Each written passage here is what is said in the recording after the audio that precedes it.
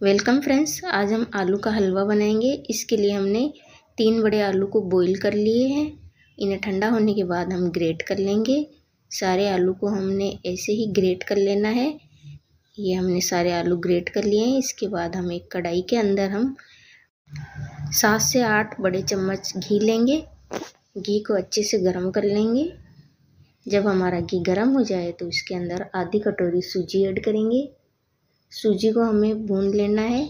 अगर आप व्रत के लिए बना रहे हैं तो आप सूजी को स्किप कर दीजिए और इसे हम कलर चेंज होने तक भून लेंगे। सूजी को हम लो फ्लेम पर पाँच मिनट तक ही भून देंगे। इसे ज़्यादा भी नहीं भून देंगे और जब हल्का सा कलर चेंज हो जाए तो हम इसके अंदर मेश किए हुए आलू डालेंगे। ये हमारी सूजी भून चुकी है। अब इसके अंदर हम आलू ऐड करेंगे। गैस के हम आँच मीडियम ही रखेंगे और आलू को कम से कम दस मिनट तक अच्छे से भूनते रहेंगे।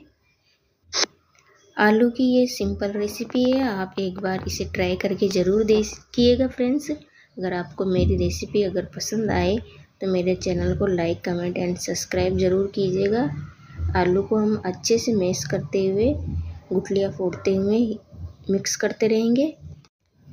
आलू को हम लगभग दस मिनट तक धीरे धीरे ऐसे ही सेकते रहेंगे मीडियम फ्लेम पे और हमारे आलू में से जब तक घी बाहर ना आ जाए, जब तक हम इसे सेकते रहेंगे और जब ये सिक जाए तो उसके बाद हम एक कटोरी दूध ऐड करेंगे। इसे थोड़ा थोड़ा करके ऐड करना है और अच्छे से मिक्स करते रहेंगे।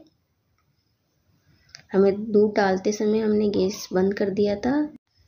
एक मिनट बाद हमने गैस को वापस चालू कर लिया है और आलू के हलवे को हम बराबर चलाते रहेंगे इसी तरीके से, जब तक ये वापस से घी बाहर ना निकाल दे।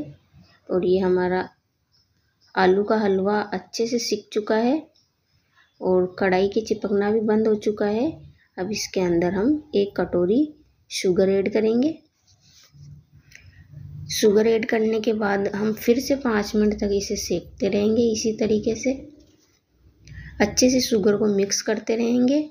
जैसे ही हमने शुगर को डाला, हमारा आलू का हलवा और भी अच्छे से मुलायम हो चुका है। ये देखिए, बिल्कुल ये दानेदार और मुलायम हो चुका है। अब इसके बाद हम इसे पाँच मिनट और ऐसे ही चलाते रहेंगे। और फिर से घी जब निकल जाए तो हम गैस की फ्लेम बंद कर देंगे। ये हमारा आलू का हलवा में से घी बाहर निकल चुका है। हम गैस की फ्लेम को बंद कर दिए हैं। आलू के हलवे को हम प्लेट में सर्व कर लेंगे। इसके बाद हम ड्राई फ्रूट ऐड करेंगे।